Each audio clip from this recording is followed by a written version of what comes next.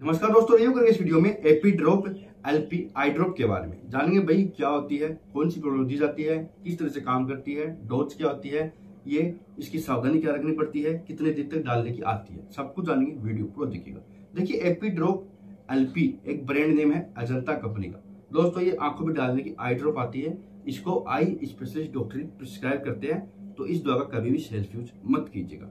ये हर एरिया में, हर दवाई दुकान पर आसानी से मिल भी जाती है। बात करते हैं भाई ये क्यों दी जाती है? तो दोस्तों आई स्पेशलिस्ट इसको आँखों में होने वाले इन्फेक्शन में देते हैं। यानी बैक्टीरियल इन्फेक्शन में दी जाती है जो आँखों के अंदर हो जाता है।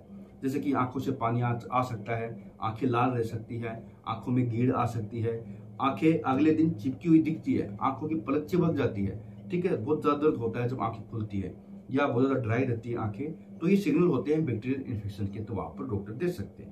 या दोस्तों, इसके अलावा आँखों में कुछ मच्छर वगैरह गिर जाए, आँखों में कोई पार्टिकल गिरने के कारण दर्द होने लगे, या गिरने के बाद इन्फेक्शन ना हो, इसलिए भी डॉक्टर दे सकते हैं। या आफ्टर सर्जरी भी देखा गया कि डॉक्टर देते हैं, आँख लाल होती है, आँखों में दर्द होता है तो वहाँ पर दे सकते हैं। आँखों के अंदर कोई रक्त का थक्का जम जाए तो उस रक्त के थक्के को हटाने के लिए भी वहाँ पर ईचिंग नहीं चले, इसके लिए भी डॉक्टर दे सकते हैं। अगर आँखों में सूजन है स्वेलिंग है रेडनेस है तो वहाँ पर भी दी जाती है। आँखों की पलकों के ऊपर कोई फुंसी हो जाए, आँखों के अंदर कोई फुंसी हो जाए, वहाँ पर भी डॉक्टर दे सकते हैं। बात करते हैं भाई ये काम किस तरह से करती है। इतनी प्रॉब्लम में कैसे काम करती है? तो दोस्तों, इसके अंदर दो सोल्ट आते हैं। पहला है मोक्सीफ्लोक्सासिन जो कि एक मेन एंटीबायोटिक है बैक्टीरिया किलर है। बैक्टीरिया को खत्म करता है इन्फेक्शन से लड़ता है। दूसरा है दोस्तों लोटी प्रेडनोलोल लोटी प्रेडनोलोल दोस्तों, एक एस्ट्रॉइड होता है। ये सूजन को केमिकल मैसेंजर होते हैं जो सूजन बनाते हैं स्वेलिंग करते हैं, दर्द का एहसास करवाते हैं। तो उस केमिकल मैसेंजर को ये ब्लॉक करके काम करता है, इसलिए साथ में दिया जाता है। एंटी एलर्जी की तरह भी काम करता है। बात करते हैं भाई डोज की, कितनी बार डाली जाती है, कितने दिन तक डालनी चाहिए?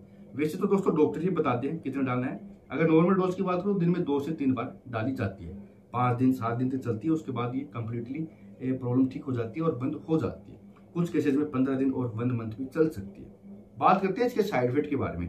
तो इसके वैसे तो कोई साइड इफ़ेक्ट नहीं होते, लेकिन फिर भी हो सकते हैं। जैसे कि आँखें सूखी हुई, हो सकती है डालने के बाद आँखों में इरिटेशन हो सकता है डिसकंफर्टेबल महसूस हो सकता है, लेकिन ये बहुत ही कम चांस होते हैं, हर किसी में नहीं होते। सावधानी इस आई ड्रॉप की यही है, कभी भी इसका सेल्फ यूज़ नहीं करना है। दोस्तों यूज़ करने के बाद भी, तीन चार दिन के बाद भी अगर आपको आराम नहीं मिले तो इस पर डिपेंड नहीं रहना है। डॉक्टर को ज़रूर बताना है। मिलते हैं